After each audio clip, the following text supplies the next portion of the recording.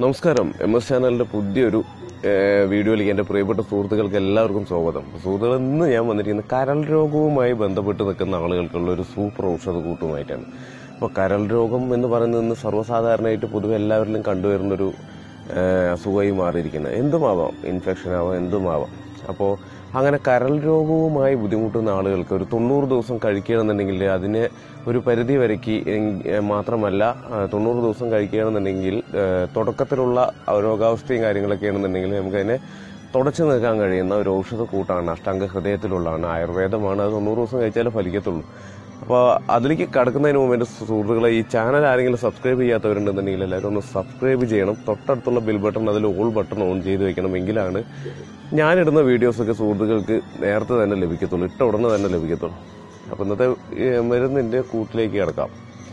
അതായത് നമ്മുടെ കീഴാർനെല്ലി ഒരു കുറച്ചെടുക്കുക. ഡെയിലി ഓരോ ഓരോ ഒരു ദിവസം കഴിക്കാൻ പറ്റുന്ന ഒരു കൂട്ടിനെ കുറിച്ച് പറയാം. പിന്നെ നിങ്ങൾ തൊണ്ണൂറ് ദിവസത്തിനനുസരിച്ചിട്ട് നിങ്ങൾ ഓരോ ദിവസം ഉണ്ടാക്കി വെക്കണ്ട. എന്റെ അഭിപ്രായം അതാണ്. അന്നന്ന് വേണ്ട അന്നന്ന് ഉണ്ടാക്കി കഴിക്കണം നല്ലത്.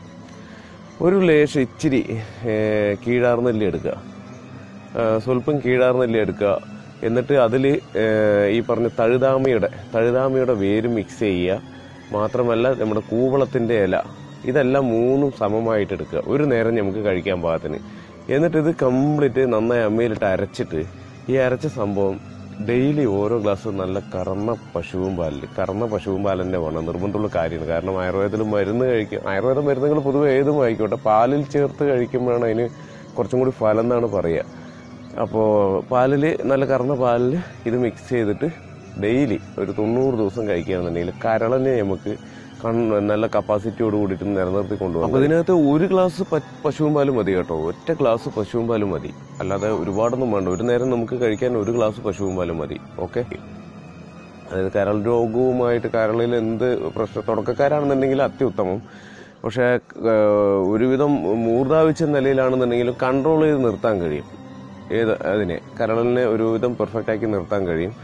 തുടക്കമാണെന്നുണ്ടെങ്കിൽ കരളിലോ വല്ല അസുഖങ്ങൾ എന്തെങ്കിലുമൊക്കെ ആയിട്ട് തുടക്കമുള്ള ആളുകളാണെന്നുണ്ടെങ്കിൽ അവർക്കിത് തൊണ്ണൂറ് ദിവസം കഴിക്കുകയാണെന്നുണ്ടെങ്കിൽ നിശേഷം മാറ്റാനും കഴിയും. അപ്പോൾ കരൾ രോഗത്തിന് ഉള്ള ഒരു സൂപ്പർ ഔഷധ കൂട്ടാണിത് അപ്പോൾ പ്രിയപ്പെട്ട സുഹൃത്തുക്കൾ എന്തായാലും ഇതൊന്ന് ഉപയോഗിച്ച് നോക്കുക. കാരണം ഹൈ റിസൾട്ട് ആയിരിക്കും നല്ല ഗുണമുള്ള ഒരു ഔഷധ കൂട്ടാണ് അപ്പം എല്ലാവർക്കും ഇതൊരു ഉത്തമ ഔഷധ കൂട്ടായി മാറും എന്നുള്ള ഒരു വിശ്വാസത്തോടു കൂടി എല്ലാവരും കൂടും. ഒരിക്കൽ കൂടി നന്ദി പറഞ്ഞുകൊണ്ട് ഞാൻ ഈ വീഡിയോ വൈൻഡപ്പ് ചെയ്യാണ്.